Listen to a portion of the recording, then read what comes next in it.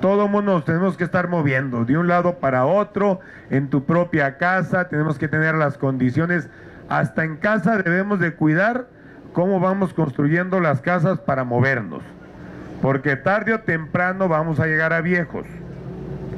Sí, ya un escaloncito, ya luego es bien difícil, difícil subirlo y debemos de pensar, yo sé que todos estamos jóvenes, chavos de a tiro, pero hasta en eso tenemos que pensar que un día hasta te vamos a tener broncas para subir un escalón en nuestra propia casa.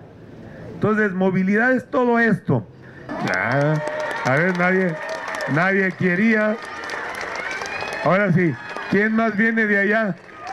¿Quién más quiere?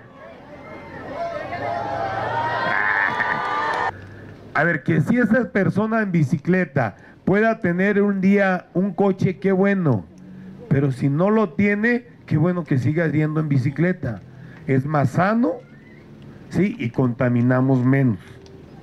Son muchísimos coches, o sea, no se imaginan 570 mil coches lo que se contamina en este estado. Que también nos da una pauta de que hay poder adquisitivo y que tiene para coches. Pero lo que queremos es motivar otras formas de movernos. Es una forma de trasladarse que tenemos que dar esa, esa seguridad y es sobre todo esa tranquilidad para las familias.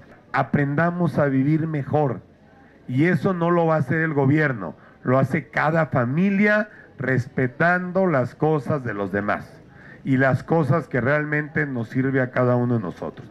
Entonces arrancamos esta ciclovía para los seis mil ciclistas de este lado y así vamos a estar haciéndolo en diferentes partes de la ciudad